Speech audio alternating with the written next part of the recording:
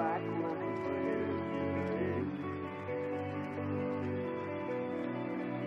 Roses are black woman plays.